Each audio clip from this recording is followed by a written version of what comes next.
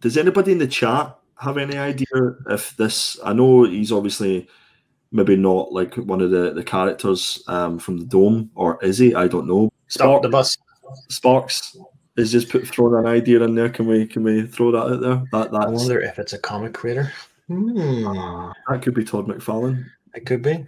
Yeah, because of all the, the drafts of all the of all the writers. Yeah, we we set up an issue one. Brian Brian K. Vaughan and stuff that was was killed or died, and then yeah, boys, If, if it's in going to be anybody, you're going to you're going to kick the ass out of Mister Image, aren't you? Uh, you know what? You know what? Right. Let's bring up a picture of Todd. Yeah. Guys, come on. You ready? Todd.